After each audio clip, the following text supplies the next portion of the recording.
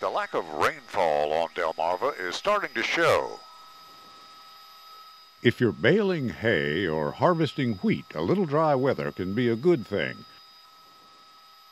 But hot weather and spotty rainfall have left conditions so dry that a single spark fanned by hot winds can start field fires like this one near Rhodesdale that can consume huge chunks of a bountiful crop in minutes, leaving nothing behind but ash. Irrigated corn is up and doing well, but look at the contrast with the plants just out of reach of the life giving water.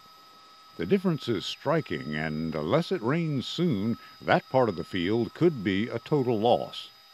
Farmers that are still planting soybeans have a hot and dusty job.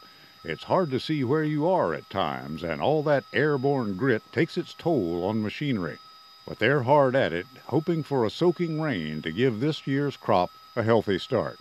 I'm Captain Willie in Chopper 16.